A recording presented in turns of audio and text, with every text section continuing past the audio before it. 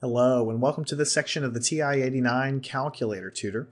Uh, in this section we're going to uh, tackle the topic of how to find the arc length of a curve using the function that's located in the F3 calc menu here. So if you go down you'll see we just did Fmin and Fmax, the next one is arc length.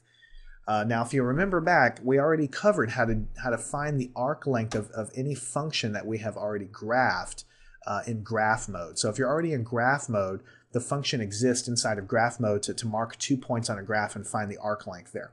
But if you don't feel like graphing the function or you don't have time, you can, you can use the direct command right here in the command line. So all you have to do is just type in a function and let's, let's just pick anything, x squared uh, minus x you know, plus 5 or something and then put uh, comma x, so this is the variable you're operating over, and then you have to give it two boundaries x is equal to lower bound, x is equal to upper bound. So let's say we're going to do x is equal to 1, x is equal to 5. So what this is going to do is, if you could visualize it, you would be graphing this function, if you could see it on the screen, and then wherever x is equal to 1 is, you put a tick mark. Wherever x is equal to 5, you put another tick mark, and the calculator is going to use the methods of calculus to integrate this function behind the scenes, basically, and integrate along that path and figure out what the actual length is. Doesn't matter if it's curved or if it's a straight line or whatever, the, the, the methods of calculus are, allow us to calculate the length of any curve uh, in the xy plane there. So it's going to do that behind the scenes. So we hit enter. It's going to do that integral behind the scenes and see it, in this case it, it presents a really gnarly answer because it's doing an integration and so it's going to try to keep everything totally exact. Most people probably going to want to, to see the decimal answer, so just hit the green button, the squiggly equals, and it'll take the last calculation and redo the calculation, this time presenting it to you in terms of a decimal, so 20.52.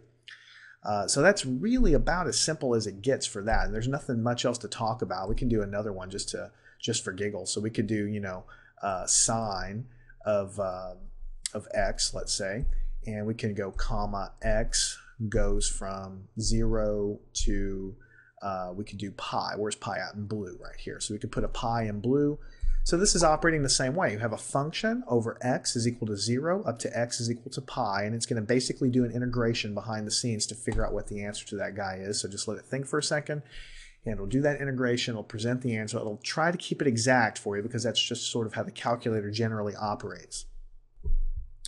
All right, so we get an answer of 3.82, and so it just does that integration there and gets the answer back. So that's really all that's for. Uh, you know, it's in the calc menu. Sometimes you do need to do that. It's great to go ahead and just check your answers, check your work on a on an exam if you've done the integral by hand, which usually you'll have to do in your class when you learn how to do this, and check it with your calculator is really great. Um, now, if you do happen to graph it, and we you can go back and look at those other lessons, but there is a, a, a um, a, uh, a, uh, function in the in the graph menu. When you're looking at a graph the, the math menu in the graph menu there to uh, to do the same sort of thing. We can go take a quick look at that. So if we go over to graph so there's what we were using in the last section. It's just still there. If you go under the F5 menu and you go down so under inflection let's keep scrolling down uh, you've got arc right there. So if you use this guy you can mark you can hit enter it'll give you a lower bound and an upper bound. So you'd have to mark the points on your on your graph and hit enter and it will calculate the uh, arc length between them. The only downside here is if you're using the arrow buttons to scoot along the graph it can get a little bit cumbersome. So if you don't have time to graph it it could be a super complicated function really difficult to graph in a short time period. So that's whenever you would just go off to the uh, to the uh, the calc menu here and just find it under number eight uh, arc length